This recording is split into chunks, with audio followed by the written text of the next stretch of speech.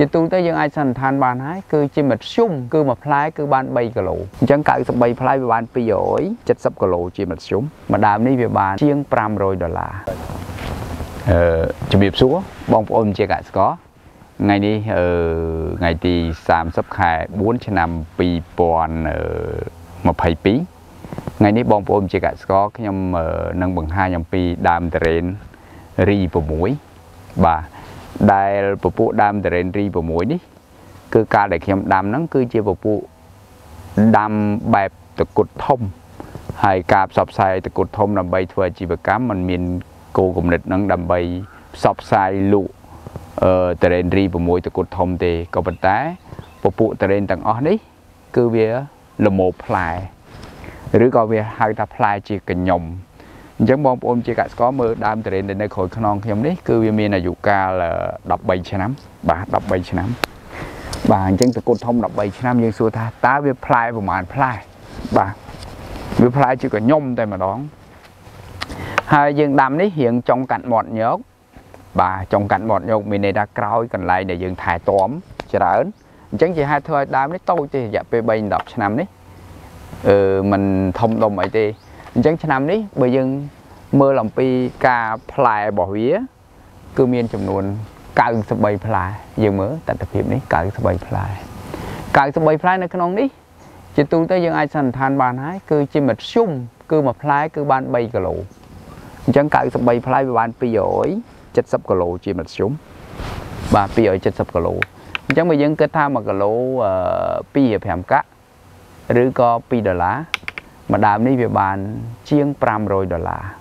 បាទជាង500ដុល្លារហើយពពួករី6នេះគឺរសជាតិឆ្ងាញ់រសជាតិឆ្ងាញ់បាទអញ្ចឹងចំពោះបងប្អូនជាកសិករដែលលោកអ្នកស្នេហាជាមួយនឹងរសជាតិតរ៉េនដែលឈ្ងុយឆ្ងាញ់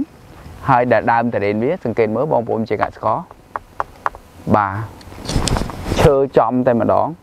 ហើយសំបីតែខ្ញុំកំពុងតែថតនេះ បាទក៏មហាសែនមុខដែរអញ្ចឹងចកាខ្លះចូលទៅអត់មានមុខសោះបាទអញ្ចឹងនឹងមុខទៅណាអស់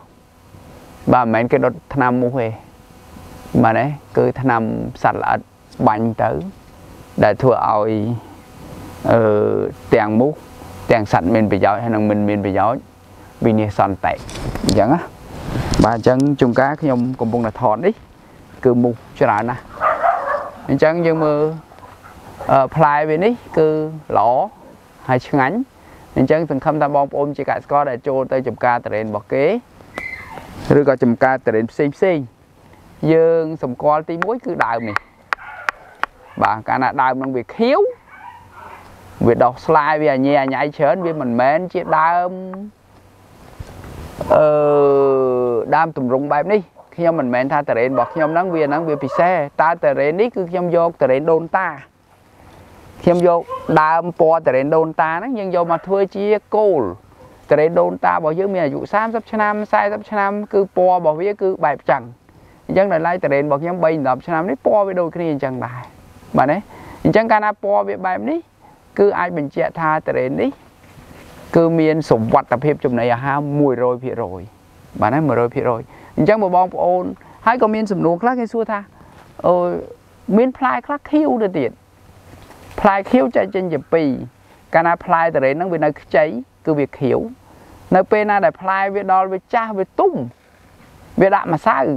មែននៅខៀវទៀតទេ វាត្រូវឡើងទៅពណ៌អឺពណ៌ពណ៌រៀងមាសតិចតិចតិចតិចតិចអានេះទៅតាមពូជបើមិនថងគឺពណ៌មាសតែម្ដងប៉ុន្តែបើសិនជាបែរទៅជាតរេនអ្នកចាស់ហើយកាត់ហើយសិតតែនៅតែពណ៌ខៀវដូចដើមដែរដូចដុះស្លែដែរ អាហ្នឹងវាមិនសវត្ថភាពទេទៅលើផ្លែប្រភេទហ្នឹងនេះការដែលខ្ញុំជម្រាបបែបនេះគ្រាន់តែជាការរំលឹកជូនដល់បងប្អូនអ្នកដែលទទួលទានតរេនដែលចូលទៅចំការគេទទួលទានតរេននៅតាមចំការគេនោះបាទណាយើងចង់និយាយថាយើងបានតរេនទទួលទានហើយតរេននោះគឺសវត្ថភាពធ្វើម៉េចដឹងសវត្ថភាពយើងមើលតាមលក្ខណៈរូបជាគោលបើលក្ខណៈរូបរបស់វាហ្នឹង វាដូចដើមតរេនដូនតាអាហ្នឹងលក្ខណៈរូបរបស់វាហ្នឹងយើងយកមកធៀបហ្នឹងគឺជាការត្រឹមត្រូវហើយដែលយើង តម្រូវឲ្យយើងហូបផ្លែហ្នឹងដោយมันមានការញញើតអីទេបាទទេក៏ប៉ុន្តែប្រយ័ត្នថាផ្លែរបស់វាដើមរបស់វាมันមានតម្រង់ដូចតរេនដូនតាបាទព្រោះយើងយកតរេនដើមតរេនដូនតាដែលមានអាយុកាល30 40ឆ្នាំហ្នឹង50 60ឆ្នាំហ្នឹងយើងមើលតម្រង់ដើមហ្នឹងយើងយកមកធ្វើជាគោលដើម្បីធៀប ដើម្បីបញ្ជាក់ថាប្រភេទដើមតរេនពិតប្រកបបែបម៉េចអ្នកខ្លះមិនធំតែអញ្ចឹងទេតរេនហ្នឹងប្រើថ្នាំហួសហេតុរហូតដល់សបកតរេនទៅមើលយូរយូរដូចសបកដើមកគីទៅវិញវាលែងទៅជាសបកដើមតរេនអស់អញ្ចឹងបងប្អូនជាកសិករអឺហើយនឹងបងបងដែលទទួលទានហ្នឹងគឺដែលចូលទៅដល់ចំការរបស់គេគ្រប់ចំការគួរផ្ដើមមើលពីដើមជាគោលសិនកាលណាគោលនៃដើមវាហ្នឹង ដើម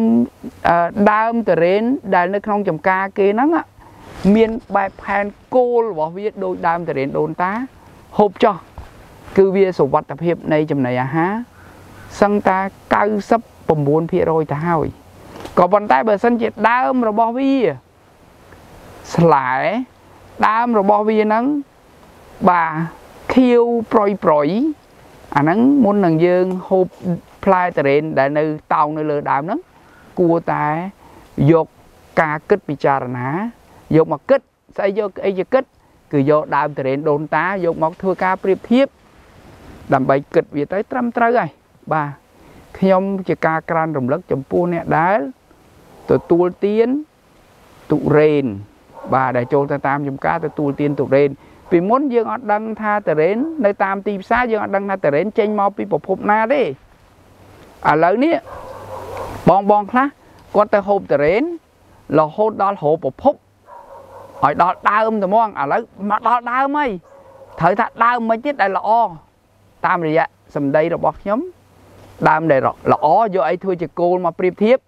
យកដើមតរេនដូនតាដែល50 60ឆ្នាំហើយដែលកម្ពស់20 30ម៉ែត្រ40ម៉ែត្របាញ់មិនដល់នោះ យកអាហ្នឹងយកមកធ្វើជាការប្រៀបធៀបគ្នា